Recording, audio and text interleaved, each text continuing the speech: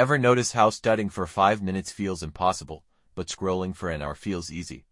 That's not your fault, it's your dopamine system at work. Your brain rewards novelty, and every new notification gives a tiny hit of pleasure. Tip 1.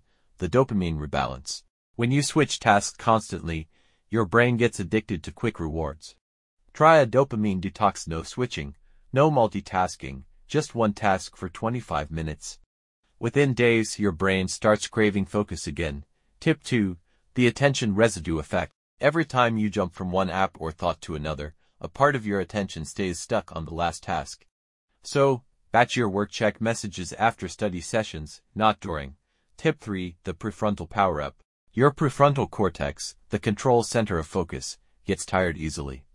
Recharge it by working in 90-minute cycles, then rest, walk, or stretch for 10 minutes to restore focus. Tip 4. Reward prediction. Your brain stays engaged when it expects a reward. Before studying, set a mini goal like finish this page, then take a tea break.